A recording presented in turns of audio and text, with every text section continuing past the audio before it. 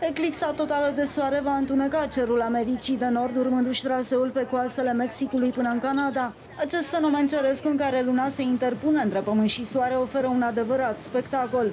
Meteorologii prognozează însă cer noros în Texas. It's sounding like here in Dallas, kind of early morning, we are going to get a very thin layer of high level clouds come in. Uh, but they're thin cirrus clouds, so they're transparent. You can see through them a little bit. Um, they've been describing it like a veil. So you can see through it, but is it an ideal condition? No, but you're also not clouded out. Chiar și așa, străzile sunt pline de turiști veniți să vadă eclipsa totală de soare.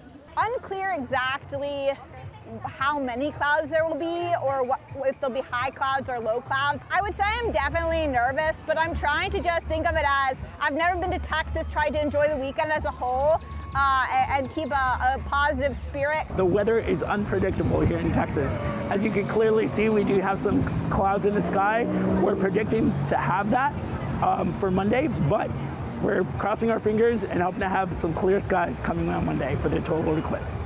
Locuitorii orașului Waxahachie se așteaptă la un val de turiști. Nimeni nu vrea să piardă șansa, mai ales că următoarea eclipsă va fi vizibilă în Statele Unite abia în 2044. I mean, my understanding is there's going to be over 100,000 that are going to be right in town here looking at this eclipse. They even told us to maybe be prepared to sleep in our store if we needed to. Um, so on Monday, just I'm thinking just because of traffic. În Europa, eclipsa va fi una parțială și nu foarte vizibilă. Ultima eclipsă de soare parțială vizibilă din România a fost în 2015, când soarele a fost acoperit de lună în proporție de 43%. Specialiștii în astronomie spun că următoarea eclipsă va fi vizibilă în țara noastră abia în 2081.